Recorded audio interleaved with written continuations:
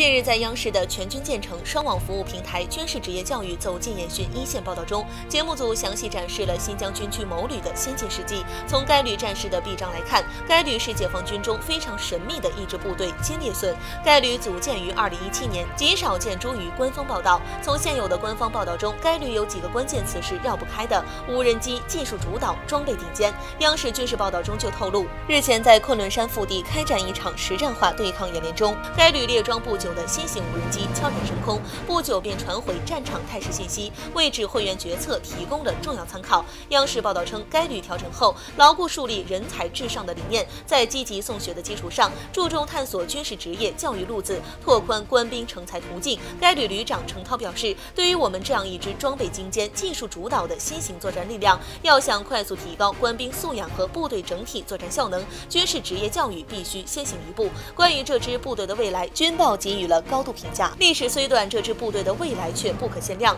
作为改革生长点之一，他们所代表的心智战斗力，承载着军事变革时代之变和圣战之要。从某种意义上说，他们处在战斗力体系建设的关键位置。他们的未来直接与部队未来作战效能紧密相连。短短时间内，这支部队是如何进步飞快呢？二零二零年九月，军报透露，该旅会组织破纪录比武竞赛，夺冠并且破纪录，就能获得旅里定制的歼灭孙奖章。如今只有不到一百。人获得过这枚奖章，而女兵更是只有一人。